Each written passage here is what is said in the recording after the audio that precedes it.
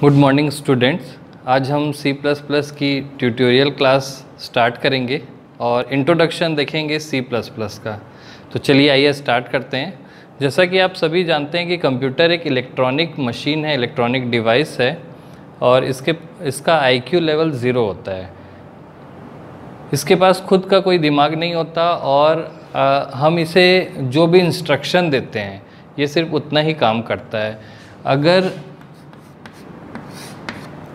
कोई पर्सन जो इसे इंस्ट्रक्शन दे रहा है, इस पर्सन को कहा जाता है प्रोग्रामर प्रोग्रामर इंस्ट्रक्शन देता है कंप्यूटर को और कंप्यूटर उस टास्क को परफॉर्म करता है. प्रोग्रामर को इंस्ट्रक्शन देने के लिए इंस्ट्रक्शन को राइट करना होता है और इंस्ट्रक्शन राइट करने के लिए उससे कोई ना कोई प्रोग्रामिंग लैंग्वेज का यूज़ करना पड़ता है. सी प्लस प्लस भी एक प्रोग्रामिंग लैंग्वेज है. तो कोई programmer C plus plus programming language का यूज़ करके इंस्ट्रक्शंस को राइट कर सकता है और उस इंस्ट्रक्शन को हम कंप्यूटर में एग्जीक्यूट कराकर अपना टास्क परफॉर्म कर सकते हैं। सी प्लस प्लस के अलावा मार्केट में कई और लैंग्वेजेस हैं, जैसे C Java P H P etcetera कई सारी लैंग्वेजेस मार्केट में उपलब्ध हैं। और इनमें से किसी भी एक लैंग्वेज का यूज़ करके आप अपने इंस्ट्रक्शन को राइट कर सकते हैं और कंप्यूटर पे उसे एग्जीक्यूट करा के अपना टास्क परफॉर्म कर सकते हैं। यहाँ हम फोकस करेंगे प्लस के ऊपर। तो ये था प्लस का इंट्रोडक्शन आइए देखते हैं प्लस को हम कंप्यूटर में किस तरीके से यूज़ कर सकते हैं। तो देखते हैं प्लस के बारे में आगे। C plus plus basically oops concept पर आधारित है। उप्स का फुल फॉर्म है object oriented programming system C plus plus object oriented programming system concept पे आधारित एक प्रोग्रामिंग लैंग्वेज है और वो इनके फीचर्स का यूज़ करके अपने प्रोग्राम को हैंडल करता है। तो देखते हैं सी प्लस प्लस जो है वो उप्स का यूज़ किस तरीके से अपने प्रोग्राम पे करता है। पहले हम देखते हैं कि सी के सी प्लस प्लस के पहले सी लैंग्वेज हुआ करती थी, जिसमें प्रोग्रामर्स अपना प्रोग्राम राइट करते थे। बट सी में कुछ ऐसी प्रॉब्लम्स क्रिएट होने लग गई, जब प्रोग्राम काफ़ी बड़े होने लग गए। तो प्रोग्राम एक बड़े प्रोग्राम को जिसमें पचास हज़ार, साठ हज़ार या एक लाख लाइन का कोड होता था, उसमें बड़े प्रोग्राम की कॉम्प्लेक्सिटी इतनी अधिक होने लग गई कि उसे हैंडल करना मुश्किल होने लग गया। इसके बाद इंट्रोड्यूस किया गया C plus plus programming language जिसमें बड़े प्रोग्राम को छोटे छोटे ऑब्जेक्ट्स या में बांटा गया और उसे उप कंसेप्ट के साथ हैंडल किया गया। इससे सी की जो कॉम्प्लेक्सिटी थी सी के बड़े प्रोग्राम की जो कॉम्प्लेक्सिटी थी, वो काफ़ी रिड्यूस हो गई। तो बोला जा सकता है कि सी प्लस प्लस प्रोग्रामिंग या प्रोग्राम राइट करने का एक अच्छा अप्रोच है। अगर आप बड़े प्रोग्राम को सी लैंग्वेज में लिखते हैं तो वो काफ़ी कॉम्प्लेक्स हो सकता है। और उसी प्रोग्राम को आप सी प्लस प्लस या उप्स कंसेप्ट के साथ प्रोग्राम को राइट करेंगे तो वो प्रोग्राम काफ़ी आसानी से आप हैंडल कर सकते हैं। तो इस तरीके से जब सी लैंग्वेज आई थी और नई लैंग्वेज को जब इंट्रोड्यूस किया गया तो उसका नाम रीनेम करके उसमें दो प्लस साइन ऐड किए गए। एक्चुअली ये सी का इंक्रीमेंट ऑपरेटर है और इसका मतलब होता है एक स्टेप आगे। तो सी से एक स्टेप आगे था, इसलिए इसका नाम रीनेम करके सी प्लस प्लस कर दिया गया। आइए देखते हैं आगे। सी प्लस प्लस में ऑब्जेक्ट ओरिएंटेड प्रोग्रामिंग सिस्टम का यूज़ किया जाता है और इसकी सबसे इंपॉर्टेंट जो पॉइंट है, वो है class and object C plus plus पूरी तरीके से क्लास एंड ऑब्जेक्ट पर निर्भर करता है। या एक प्रकार से हम बोल सकते हैं कि सी विथ क्लास को ही सी प्लस प्लस कहा जाता है। जब सी से सी प्लस प्लस को डेवलप किया जा रहा था, तब सी में क्लास को इंट्रोड्यूस किया गया और उसका नाम रखा गया सी विथ क्लास बाद में इसे रीनेम कर सी प्लस प्लस कर दिया गया। तो क्लास एंड ऑब्जेक्ट जो है, ये सी का सी प्लस प्लस का एक महत्वपूर्ण फीचर है। और आइए हम देखते हैं class and object C plus plus में क्या भूमिका निभाते हैं? तो देखते हैं। सबसे पहले हम ये देखेंगे क्लास एंड ऑब्जेक्ट की डेफिनेशन किस तरीके से डिफाइन की गई है। क्लास एक ब्लूप्रिंट होता है जिसके द्वारा एक क्लास की डिज़ाइन हम करते हैं और उससे कई ऑब्जेक्ट्स को बनाया जाता है। एक्चुअल रन टाइम पे वर्किंग जो होती है वो ऑब्जेक्ट के साथ होती है। ऑब्जेक्ट रन टाइम एंटिटी होती है। इसका मतलब ये है सीधी सीधी बोलचाल की भाषा में बोला जाए तो जब प्रोग्राम रन होते रहता है, उस समय ऑब्जेक्ट पे वर्किंग होती है, एक्चुअल वर्किंग ऑब्जेक्ट पे होती है, बट ऑब्जेक्ट का क्रिएशन क्लास के थ्रू होता है। इसका मतलब है कि हम एक प्रोग्रामर या कोई प्रोग्रामर क्लास की डिज़ाइन तैयार करता है और एंड यूज़र उस क्लास की डिज़ाइन का यूज़ करके कई ऑब्जेक्ट्स को क्रिएट कर सकता है रन टाइम पर और ऑब्जेक्ट्स की ही वर्किंग में यूज़ की जाती है। एक्चुअल वर्किंग ऑब्जेक्ट पे होती है बट ऑब्जेक्ट क्रिएट होता है क्लास के द्वारा। तो क्लास एक ब्लूप्रिंट है और रन टाइम एंटिटी को ऑब्जेक्ट कहा जाता है। आइए हम इसे एक रियल एग्ज़ाम्पल से देखते हैं। अगर मैं किसी बाइक की बात करूँ, जैसा आप यहाँ पर एक ऑब्जेक्ट देख रहे हैं, इस ऑब्जेक्ट को में ये एक बड़ा ऑब्जेक्ट जो है, वो छोटे छोटे ऑब्जेक्ट से मिलके बना है। यानी कि एक बड़ा प्रोग्राम जो पहले काफ़ी कॉम्प्लेक्स हुआ करता था और सिंगल एंटिटी हुआ करता था, अब हम इसे छोटे छोटे ऑब्जेक्ट्स में डिवाइड कर देंगे और इस छोटे छोटे पार्ट को हैंडल करना काफ़ी आसान होगा। ये पार्ट्स एक दूसरे से इंडिपेंडेंट होंगे बट इनमें एक मैसेज सेंडिंग की फैसिलिटी एक दूसरे से कम्युनिकेट कर सकते हैं। तो दो ऑब्जेक्ट एक दूसरे से कम्युनिकेट करेंगे बट उनकी जो वर्किंग होती है वो इंडिविजुअल होती है। अगर किसी ऑब्जेक्ट के किसी पार्ट में प्रॉब्लम आती है तो पूरे ऑब्जेक्ट या पूरे एंटिटी को चेक करने की ज़रूरत नहीं है। सिर्फ़ इस छोटे से हिस्से को रिपेयर करके हम सारे सिस्टम को करेक्ट कर सकते हैं। सेम इसी तरीके से अगर मैं रियल लाइफ एग्जांपल देखूँ तो आप देखेंगे कि आपके पास कोई बाइक है या कोई कार है।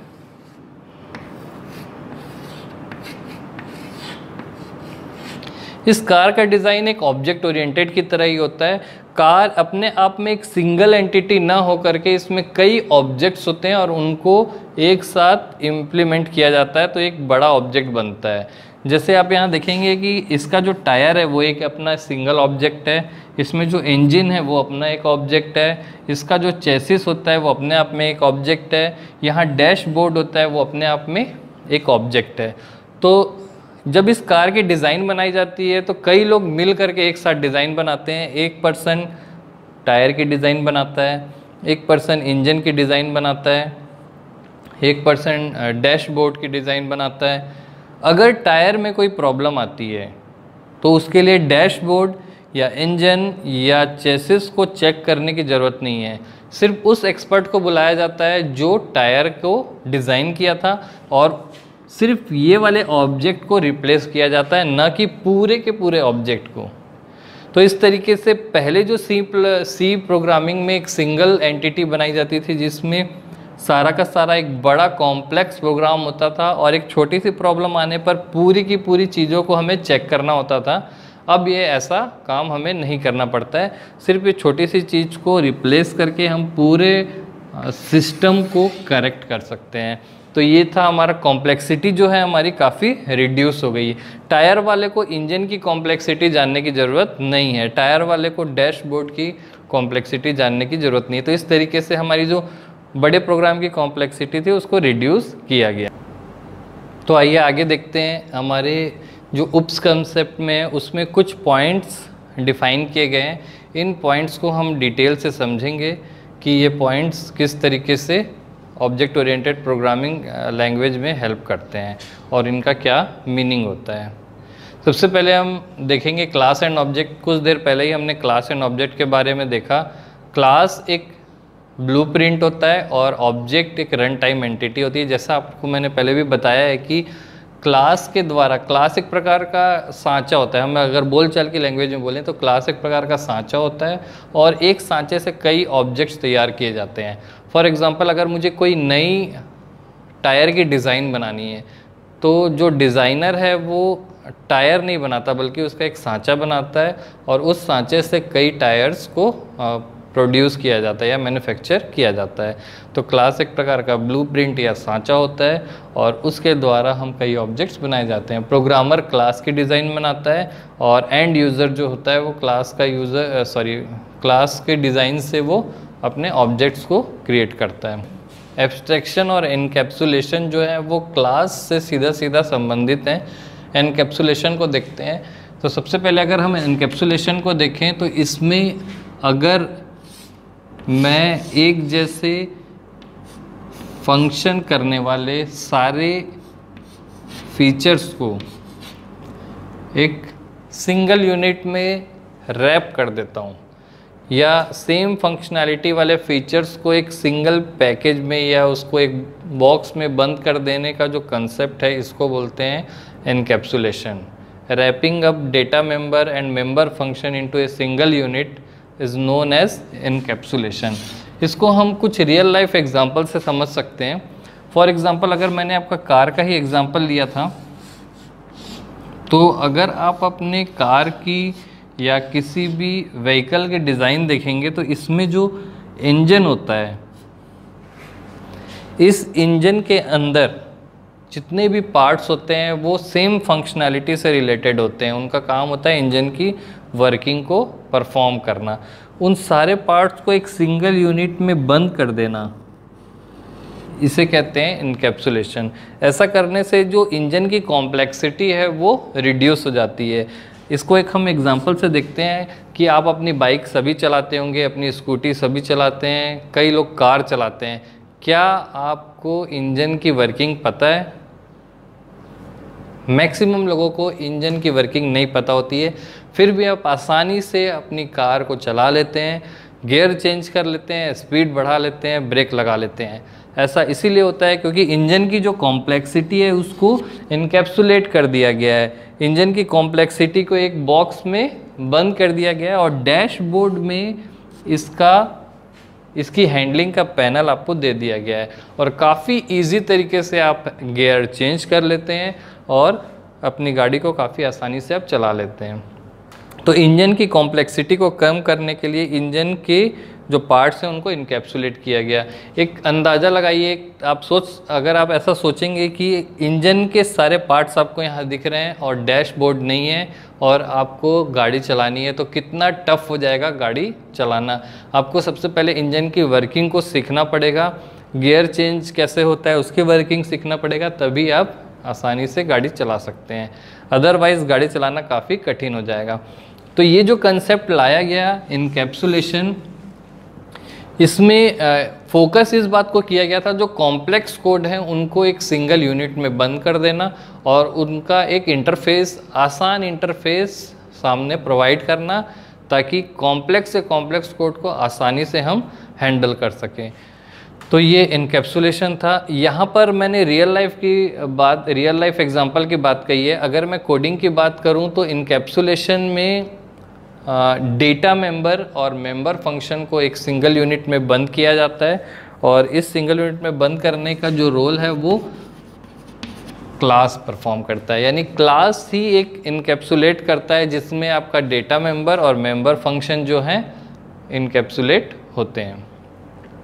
तो इस तरीके से कई क्लासेस और ऑब्जेक्ट हम क्रिएट कर सकते हैं। आगे देखते हैं एब्स्ट्रैक्शन एब्स्ट्रैक्शन का मतलब होता है एब्स्ट्रैक्ट डेटा आपको प्रोवाइड करना। सेम इसी तरीके का मीनिंग अगर मैं देखूँ कि यहाँ पर इंजन की कॉम्प्लेक्सिटी को बंद किया गया और एब्स्ट्रैक्ट डेटा यानी इंटरफेस आसान इंटरफेस आपको प्रोवाइड किया गया। इसे डेटा हाइडिंग के नाम से भी जाना जाता है। सी प्लस प्लस में डेटा हाइडिंग कहा जाएगा और रियल लाइफ में अगर मैं कहूँ तो इंजन के पार्ट्स को हमने हाइड कर दिया। आपको इंजन के पार्ट्स और उसकी कॉम्प्लेक्सिटी उसकी वर्किंग नहीं दिखाई देगी, वो पूरी तरीके से हाइड है। आपको एक सिंगल एब्स्ट्रैक्ट इंटरफेस दिखाई देता है यहाँ पर। एब्स्ट्रैक्ट इंटरफेस का मतलब है काफ़ी आसान चीज़ें आपको यहाँ पर डैशबोर्ड में दिखाई देती है और थोड़ी सी प्रैक्टिस करके आप काफ़ी आसानी से अपना इंजन को हैंडल कर सकते हैं। तो यहाँ पर इंजन का जो कॉम्प्लेक्स डेटा है, वो इनकेप्सुलेट कर दिया गया है और उसके डेटा यानी कि उसके पार्ट्स को हाइड कर दिया गया है, ताकि आप आस कॉम्प्लेक्सिटी कम हो जाए और आप आसानी से इसे चला सकें। क्लियर है? तो ये जो दो पॉइंट थे, आपने देखा क्लास एंड ऑब्जेक्ट थोड़ी देर पहले मैंने आपको बताया एनकेप्सुलेशन मैंने बताया कि सिंगल यूनिट में बंद करना है और इसके पीछे रोल अदा करता है क्लास और जब हम बंद करते हैं तो कुछ ना कुछ डेटा हमारा हाइड हो जाता है। कुछ छोटे से पार्ट को हम डिस्प्ले करते हैं जो आसान होता है। तो इसके बाद का जो चौथा पॉइंट है, वो है इनहेरिटेंस आइए देखते हैं इनहेरिटेंस को हम कैसे समझ सकते हैं।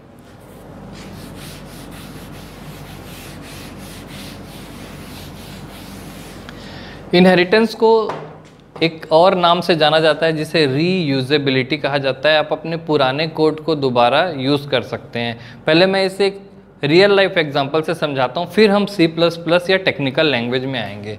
फॉर एग्ज़ाम्पल आपके पास एक कार है। मैं रियल लाइफ एग्जांपल में एक सिंपल एग्जांपल लेकर चल रहा हूँ। कार का ये पुराना मॉडल है और आपको एक नया मॉडल लॉन्च करना है। तो इसके लिए आपको पूरे डैशबोर्ड को डिज़ाइन करना, पूरे इंजन को फिर से डिज़ाइन करना, पूरे चेसिस को फिर से डिज़ाइन करना पूरे टायर को फिर से डिज़ाइन करने की ज़रूरत नहीं है। आप इसके नए मॉडल पे फोकस कर रहे हैं, इसकी एवरेज पर, इसकी माइलेज पर फोकस कर रहे हैं तो आपको सिर्फ़ इंजन को रीडिज़ाइन करना होगा। पूरा का पूरा ढांचा स्ट्रक्चर दोबारा डिज़ाइन करने की ज़रूरत नहीं है। तो नए इंजन को कैसे डिज़ाइन करेंगे देखते हैं। पुराने ढांचे को हम एडॉप्ट करेंगे या इनहेरिट करेंगे। टायर के ढांचे को हम एडॉप्ट करेंगे डैशबोर्ड के ढांचे को हम एडॉप्ट करेंगे और पुराने डिज़ाइन में ये सारी चीज़ें सेम रहेंगी, सिर्फ़ इंजन को रीडिज़ाइन किया जाएगा, यहाँ पर इंजन को रीडिज़ाइन किया जाएगा। तो हमने यहाँ पे रीयूज़ किया, यहाँ पर टायर को रीयूज़ कर लिया, यहाँ पर चेसिस को रीयूज़ कर लिया डैशबोर्ड को रीयूज़ कर लिया, सिर्फ़ इंजन की डिज़ाइन नहीं बनी। अगर इनहेरिटेंस नहीं होता तो हमें चेसिस फिर से डिज़ाइन करना होता टायर फिर से डिज़ाइन करना होता, ये सारी चीज़ों को फिर से डिज़ाइन करना होता। एक्स्ट्रा मेहनत एक्स्ट्रा समय एक्स्ट्रा पैसा, खर्चा होता। तो हालाँकि हम अभी जानते हैं कि हमारी रियल लाइफ की सारी चीज़ें ऑब्जेक्ट ओरिएंटेड है बट प्रोग्रामिंग में सी में इस तरीके का कंसेप्ट नहीं था और रियल लाइफ से ही हमको, हमने उसको इम्प्लीमेंट किया था इसमें। तो ये जो कंसेप्ट कहलाता है, ये इनहेरिटेंस कहलाता है। पुरानी चीज़ों से कुछ चीज़ें इनहेरिट कर लेना और छोटे से पार्ट को एडिट करके नए मॉडल को लॉन्च करना। एक एग्ज़ाम्पल देखते हैं, ये पुराना मॉडल का मोबाइल है, जिसमें आपको कुछ फीचर्स दिए हुए हैं। इसमें मान लेते हैं वाईफाई नहीं है। तो जब हमें नया मोबाइल लॉन्च करना है तो फिर से इसकी स्क्रीन डिज़ाइन करने की ज़रूरत नहीं है। स्क्रीन को इनहेरिट कर लेंगे टच को इनहेरिट कर लेंगे, इसके मदरबोर्ड को इनहेरिट कर लेंगे, सारी चीज़ें इनहेरिट करके इसमें वाईफाई ऐड किया जाएगा और एक नया मॉडल लॉन्च होगा, जिसमें पुराने सारे फीचर्स तो होंगे ही प्लस एक एडिशनल फीचर्स भी होंगे। तो इस कंसेप्ट से हमारा टाइम बचा, पैसा बचा, और एक नया मॉडल काफ़ी आसानी से हम तैयार कर लिए हैं। इस मॉडल को पेरेंट चाइल्ड मॉडल भी कहा जाता है। अगर मैं पेरेंट चाइल्ड मॉडल को बोलूँ तो जो चाइल्ड है, इसके पास पेरेंट की प्रॉपर्टी तो होती ही है बट कुछ एडिशनल प्रॉपर्टी भी, इसकी सेल्फ की प्रॉपर्टी भी होती है। तो अगर देखा जाए तो चाइल्ड के पास इससे ज़्यादा फीचर्स होंगे। तो जो चाइल्ड मॉडल होगा या जो नया लेटेस्ट मॉडल होगा, वो अपने पेरेंट मॉडल से ज़्यादा फीचर रखेगा। और इस ज़्यादा फीचर के लिए इसे ज़्यादा मेहनत करने की ज़रूरत भी नहीं है, क्योंकि आधे से ज़्यादा या मैक्सिमम फीचर्स वो अपने पेरेंट्स से लिया है और उसे इनहेरिट किया है। तो इस कंसेप्ट का यूज़ करके नए मॉडल को लॉन्च करना काफ़ी आसान हो जाता है और आप अपने मोबाइल पे इसका एग्जांपल भी देखते होंगे कि आपके व्हाट्सएप पे अपडेट आता है। तो काफ़ी सारी चीज़ें उसमें पुरानी सेम रहती है। बस कुछ कॉलिंग के फीचर जैसे ऐड किया जाएगा तो अपडेट होगा तो नए फीचर ऐड हो जाएँगे। इसके लिए पीछे जो रीज़न है वो ऑब्जेक्ट ओरिएंटेड प्रोग्रामिंग सिस्टम का ही है। तो ये इनहेरिटेंस था और इनहेरिटेंस को हम डिटेल से आगे समझेंगे। चार पाँच प्रकार के इनहेरिटेंस होते हैं कि आ, किस इनहेरिटेंस में किस तरीके से डेटा और फ़ंक्शंस इनहेरिट होते हैं। इसके इसके बारे में हम डिटेल से देखेंगे। तो अगला पॉइंट आते हैं हम पॉलीमॉर्फिज्म के ऊपर। ये हमारा पांचवा पॉइंट है। इसे देखते हैं डिटेल में polymorphism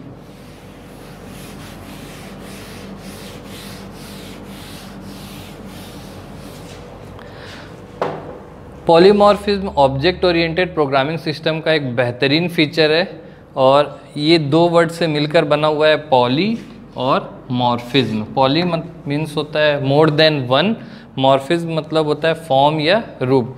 अगर किसी ऑब्जेक्ट के एक से अधिक रूप होते हैं, एक से अधिक फंक्शनैलिटी होती है तो उसे पॉलीमॉर्फिज्म कहा जाता है। पॉलीमॉर्फिज्म को आप अपने रियल लाइफ में काफ़ी पसंद भी करते हैं और इसके काफ़ी सारे एग्ज़ाम्पल आपके सामने अभी भी मौजूद हैं। जैसे मैं आपका एक, आपके सामने एक एग्ज़ाम्पल लेता हूँ आपके स्मार्टफ़ोन का। आपका जो स्मार्टफ़ोन है, वो एक पॉलीमॉर्फिक ऑब्जेक्ट है। सीधी सीधी मीनिंग है, ये कभी आपके लिए कैमरा बन जाता है, कभी एफएम बन जाता है कभी सेल फ़ोन बन जाता है,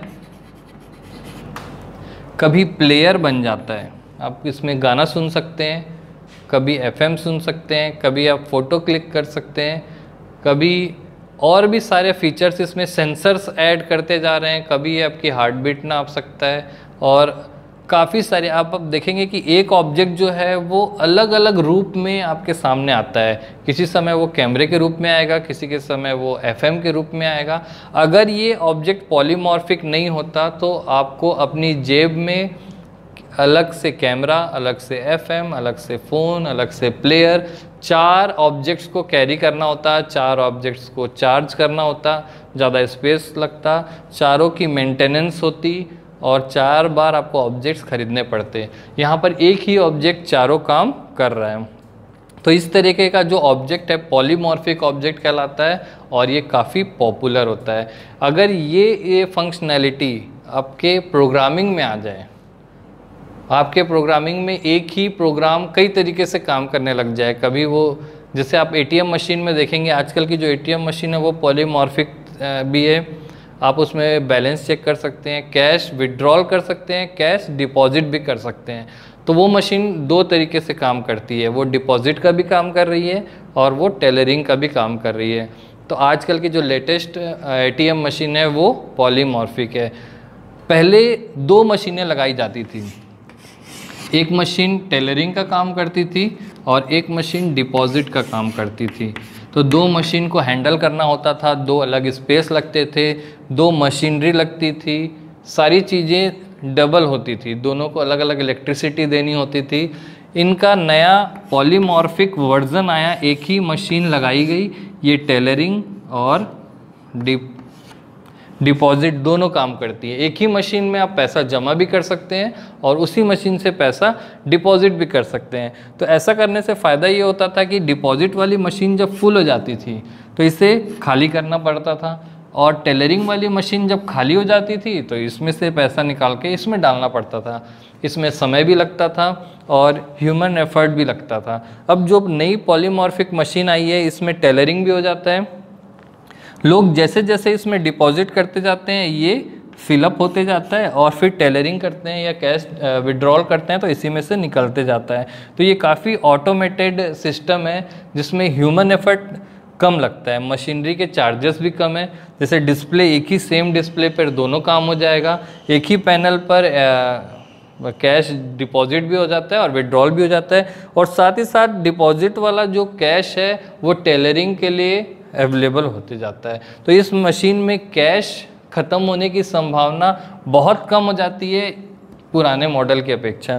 तो आप देख रहे हैं कि ये जो नया मॉडल आया है, ये काफ़ी ज़्यादा एडवांस्ड है पुराने मॉडल से। ये ऐसा तभी संभव हुआ है क्योंकि इसमें पॉलीमॉर्फिज्म किया गया है।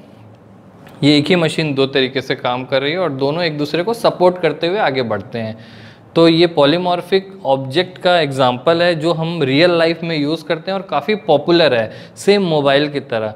लेकिन क्या हो, अगर हमारे प्रोग्रामिंग लैंग्वेज में पॉलीमॉर्फिक होना लग, होने लग जाए, यानी कि हम एक प्रोग्राम लिखें और वो प्रोग्राम एक से अधिक तरीके से फंक्शनल फ़ंक्शन दे हमको, यानी एक कोड को ही हम कई तरीके से यूज़ कर सकते हैं। इसके, इसे हम टेक्निकली जब पॉलीमॉर्फिज्म पढ़ेंगे जो कि यूनिट थ्री में आपको मिलेगा। जब हम डिटेल से पॉलीमॉर्फिज्म पढ़ेंगे तो आपको टेक्निकली समझ में आएगा कि कोड में पॉलीमॉर्फिज्म कैसे होता है। बट मैं एक छोटे से एग्जांपल से आपको बताना चाहता हूँ। जैसे कि मैं यहाँ पर बोल रहा हूँ थ्री प्लस टू ये प्लस एक ऑपरेटर है, जो दो नंबर्स को ऐड करता है। अगर आप देखेंगे कि प्लस यहाँ पर मैं किया तो यहाँ पर आएगा आउटपुट फाइव तो प्लस ऑपरेटर जो है वो दो नंबर्स को ऐड करता है। यहाँ पर मैं लिखता हूँ three point five plus two point five ये दोनों नंबर्स को भी ये ऐड कर देगा प्लस ऑपरेटर तो इसका जो आउटपुट है वो आपको आएगा सिक्स आपने देखा कि ये दो इंटीजर नंबर को प्लस ऐड कर रहा है, दो फ्लोट नंबर को ऐड कर रहा है। लेकिन अगर मैं यहाँ पर लिखूँ, मोहन प्लस कुमार। ये यहाँ पर जो प्लस ऑपरेटर है, वो दो नाम को ऐड नहीं कर पाएगा। सी में प्लस ऑपरेटर के पास ये फैसिलिटी नहीं है कि वो दो नाम को ऐड करके इस तरीके से आउटपुट दे दे आपको।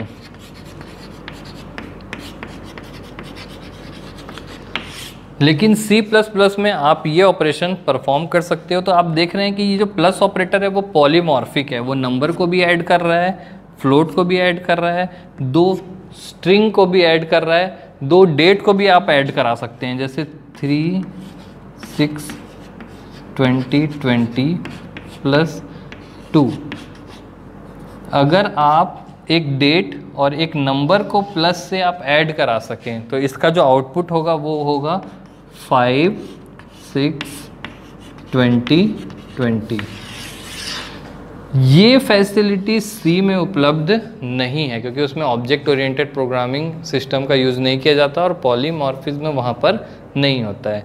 अगर पॉलीमॉर्फिज्म आपके पास हो रहा है तो प्लस ऑपरेटर से आप देखेंगे यहाँ कि प्लस ऑपरेटर पॉलीमॉर्फिक है। कभी वो नंबर को ऐड कर रहा है, कभी फ्लोट को ऐड कर रहा है, कभी स्ट्रिंग को कॉन्कैट कर रहा है। कभी डेट को ऐड करके नई डेट जनरेट कर रहा है। तो इस तरीके से अगर प्लस ऑपरेटर यहाँ पॉलीमॉर्फिक हो जाए तो एक ही ऑपरेटर से हम कई काम काफ़ी आसानी से कर सकते हैं, जो कि आगे आने वाली कई लैंग्वेजेस में, जैसे पाइथन वगैरह में आपको काफ़ी बड़ी मात्रा में पॉलीमॉर्फिज्म दिखाई देगा। तो अगले पॉइंट पर आते हैं डायनेमिक बाइंडिंग और मैसेज पासिंग हम इन दोनों पॉइंट्स को एक साथ देखेंगे डायनेमिक बाइंडिंग और मैसेज पासिंग तो शुरुआत में हमने देखा था क्लास एंड ऑब्जेक्ट में डिवाइडेड रहता है हमारा एक बड़ा प्रोग्राम एक बड़े प्रोग्राम को छोटे छोटे ऑब्जेक्ट्स में हम डिवाइड कर देते हैं और इन छोटे छोटे ऑब्जेक्ट्स को हैंडल किया जाता है। जब इन छोटे छोटे ऑब्जेक्ट्स को एक साथ वर्किंग में लाया जाता है इम्प्लीमेंट किया जाता है तो ये एक बड़े ऑब्जेक्ट की तरह मिलकर काम करते हैं। जैसा मैंने आपको कार में एक एग्जांपल बताया कि कार में ये टायर है, ये इंजन है, या सॉरी चेसिस है, इंजन है डैशबोर्ड है। तो ये जो ऑब्जेक्ट है, ये टायर का होगा इंजन का होगा डैशबोर्ड का होगा चेसिस का होगा, इसी तरीके से फ्यूल टैंक और अलग अलग छोटे छोटे ऑब्जेक्ट्स को जब एक पूरा मिलाया जाता है तो पूरा ये कंबाइंड ऑब्जेक्ट जो होता है, वो कहलाएगा आपका जो हमारा आउटपुट चाहिए था, जो हमारा फाइनल टास्क था, जिसका हम नाम दे सकते हैं कार तो कार बनाने के लिए हम इस छोटे छोटे ऑब्जेक्ट्स पे वर्क करके लास्ट में इनको मिलाया जाता है और मिलाने के लिए हम इनकी डायनेमिक बाइंडिंग करते हैं। इन दो ऑब्जेक्ट्स के बीच में बाइंडिंग होती है जिसे डायनेमिक बाइंडिंग बाइंडिंग दो प्रकार की होती है। हम यहाँ पर कंसेप्ट ले रहे हैं डायनेमिक बाइंडिंग की। बाइंडिंग तो आ, पुराने सी लैंग्वेज में भी होती थी। बाइंडिंग दो प्रकार की होती है स्टैटिक बाइंडिंग और डायनेमिक बाइंडिंग स्टैटिक बाइंडिंग का मतलब होता है कि ये यहाँ पर फिक्स कर दिया गया है। इंजन टायर से फिक्स रहेगा। ये स्टैटिक बाइंडिंग है। फ़र्स्ट टाइम जो बाइंडिंग कर दी गई है, वो फिक्स होगा। ऐसी बाइंडिंग पहले सी में भी होती थी। बट अगर क्या हो कि इंजन कभी फ़र्स्ट टायर से बाइंड हो जाए और कभी सेकेंड टायर से बाइंड हो जाए। तो डायनेमिक बाइंडिंग का मतलब है कि हम इसकी पोजीशन कभी भी चेंज कर सकते हैं। ऐसा सी में नहीं होता था। सी में ये फैसिलिटी नहीं थी, जिसको जिस चीज़ से बाइंड किया जाता था, वो उसी चीज़ से हमारा बाइंड होता था। लेकिन सी प्लस प्लस या ऑब्जेक्ट ओरिएंटेड प्रोग्रामिंग लैंग्वेज में ये फैसिलिटी है कि आप डायनेमिकली कोई भी चीज़, कभी भी रन टाइम पर आप उसको चेंज करवा सकते हैं। इसका मतलब ये है कि आपका जो डैशबोर्ड है, अभी आपका जो कार का मॉडल होता है, उसमें डायनेमिक बाइंडिंग उपलब्ध नहीं होती है। डैशबोर्ड आपके पास सामने ही होता है। क्या हो कि कभी डैशबोर्ड पीछे की तरफ़ चला जाए ऑटोमेटिक जैसा कि आजकल ऑटोमेटेड कार में आप देखेंगे कि यहाँ का जो आ, आपका जो इसकी छत होती है, वो काफ़ी तरीके से चेंज हो जाती है, या ये मॉर्फिक करता है या चेंज कर सकते हैं आप इसको। तो डायनेमिक बाइंडिंग में आप दो ऑब्जेक्ट के बीच में जो बाइंडिंग है, उसको रन टाइम पर कभी भी चेंज कर सकते हैं। स्टैटिक बाइंडिंग पहले से उपलब्ध थी डायनेमिक बाइंडिंग की facility object oriented programming system में इम्प्लीमेंट की गई है। और ये काफ़ी अच्छा फीचर है। इसको जब आप टेक्निकली देखेंगे तो आपको ये समझ में आया कि डायनेमिक बाइंडिंग किस तरीके से होती है? मैं एक छोटा सा एक रियल लाइफ एग्जांपल बताता हूँ आपको, जिससे आपको थोड़ा सा क्लियर हो जाएगा डायनेमिक बाइंडिंग आपके मोबाइल में एक ऐप होता है फेसबुक का, जो लगभग मैक्सिमम लोग यूज़ करते हैं। फेसबुक जब आप ऐप को ओपन करते हैं तो आपका जो ये ऐप है, वो फेसबुक के सर्वर से कनेक्ट हो जाता है। ये स्टैटिक बाइंडिंग है। वो ऐप फेसबुक के सर्वर से ही कनेक्ट होगा। वो टेलीग्राम के सर्वर से कनेक्ट नहीं हो पाएगा। या किसी और सर्वर से, ये ऐप जो है, इसकी बाइंडिंग फेसबुक के सर्वर से ही बनाई गई है। स्टैटिक बाइंडिंग है। लेकिन आपका जो क्रोम है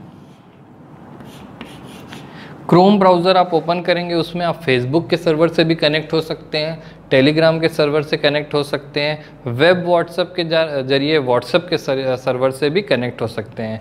तो ये जो क्रोम होता है, वो एक प्रकार से डायनेमिक बाइंडिंग आपका करता है। हालाँकि फेसबुक में भी डायनेमिक बाइंडिंग होती है, लेकिन वो सर्वर सेम होता है।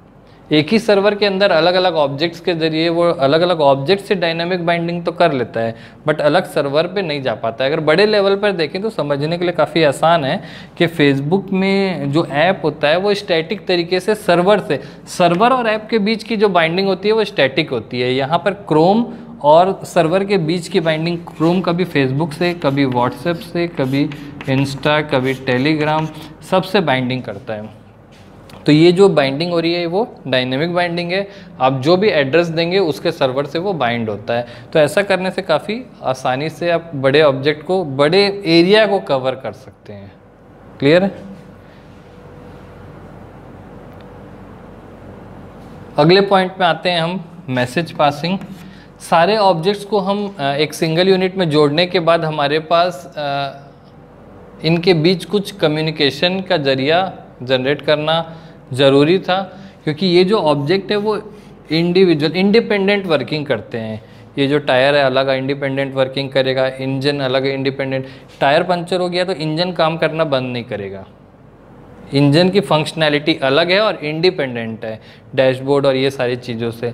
लेकिन ये दो ऑब्जेक्ट्स के बीच में कम्युनिकेशन के लिए हमने, या प्रोग्रामर जो सी प्लस प्लस के डेवलपर हैं, उन्होंने मैसेज पासिंग का एक कंसेप्ट भी इसमें ऐड किया जिसमें एक ऑब्जेक्ट दूसरे ऑब्जेक्ट को कुछ मैसेज पास कर सकता है। ये मैसेज जो है, अगर टेक्निकली बोलें तो आर्ग्यूमेंट पासिंग की तरह होते हैं और आर्ग्यूमेंट भेजकर एक ऑब्जेक्ट दूसरे ऑब्जेक्ट के पास कुछ मैसेज पहुँचा सकता है।